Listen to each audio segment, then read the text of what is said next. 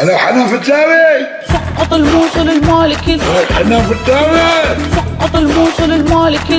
إذا أكو شيء أفتخر به في سيرتي الذاتية هو من يقتلون سبعة شيعة اريد قبالهم ينقتلون سبعة سنة. يا منافقين. سقط الموصل